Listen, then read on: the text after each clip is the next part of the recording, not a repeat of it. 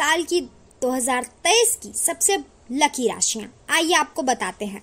नमस्कार, मैं हूँ अलका झा। स्वागत है आपका द भारत टुडे न्यूज़ पर। करियर में मिलेगी बड़ी सफलता और ढेर सारा पैसा। नया साल शुरू होने के कुछ ही समय बाकी हैं। ऐसे में सभी के मन में यह जानने की उत्सुकता है कि साल 2023 किन राशियों के लिए शुभ रहेगा और किन के लिए अशुभ रहेगा।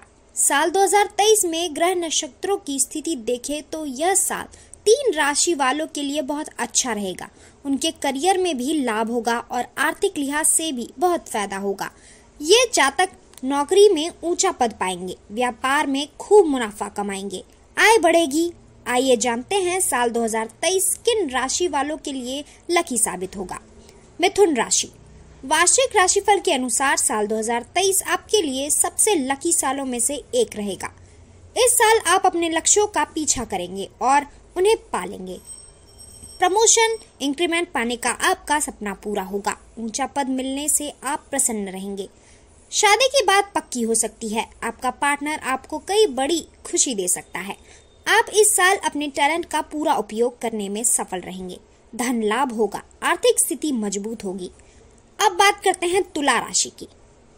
इस वर्ष 2023 तुला राशि वालों के लिए करियर प्यार पैसे मामले में बहुत अच्छा रहेगा। आपको कई नए मौके मिलेंगे जिनका आप पूरा फ़ायदा लेंगे और करियर में आगे बढ़ेंगे। बड़ी सफलताएँ अर्जित करेंगे और बड़ा सपना पूरा हो सकता है।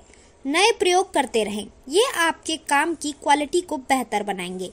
आर्थिक स्थिति बेहतर होगी। नए तरीकों से पैसे कमाएँगे। पारिवारिक जीवन खुशहाल रहेगा। वृश्चिक राशि। आने वाले साल इस राशि के जातकों के लिए कई सौगतों लेकर आ रहा है।